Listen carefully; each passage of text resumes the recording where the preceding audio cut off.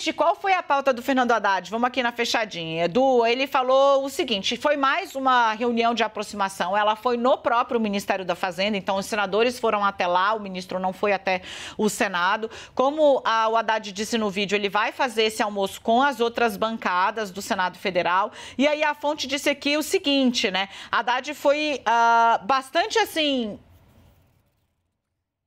cerimonioso, talvez essa é a palavra, porque ele falou de pauta, pouco de política, pouco de chuvisco da política e mais de pauta. Então ele se mostrou atento à questão do CARF, ele quer que volte o voto de, de confiança ali, né, um voto meio que de desempate no CARF, que é o Conselho uh, da Receita uh, Federal, né, que trata ali de multas, de abatimento, pagamento de multas, ficou meio chamuscado na Lava Jato, teve mudanças que acabaram emperrando do funcionamento e ele está trabalhando para voltar com outro sistema. Por quê? Porque se você aplica multa, tem desconto, você julga no CAF, dá, no CAF dá um desconto, em vez da pessoa não pagar nunca, ela pode pagar em algum momento, o que faz entrar dinheiro no caixa e ele está buscando esse crescimento de receita.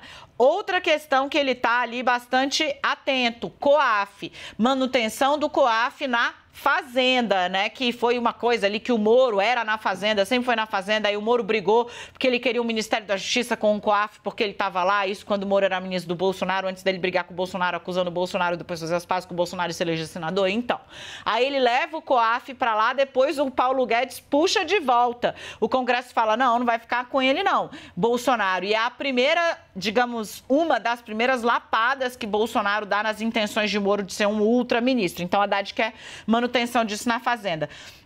Reforma tributária ele uh, quer uh, pediu apoio, falou que a reforma tributária é muito importante, vai re repetir essa pregação para todo mundo. Já já o Yuri traz informação a respeito disso. Então ele foi pedir apoio dentro do próprio PT. Uma curiosidade, a fonte informa que o cardápio não foi lá essas coisas, que a picanha, a cervejinha, Yuri Pita, Leandro Rezende e Larissa Rodrigues ainda não chegaram no Ministério da Fazenda. Mas está aí Haddad fazendo essa coisa meio ao jeito dele, mais cerimonioso, pedindo apoio às pautas e mostrando ali o que é prioridade. No chuvisco ali, Banco Central, Lula e tal, parece que ele não entrou muito, embora tenha chegado mais informação também de aliados do petista a esse respeito.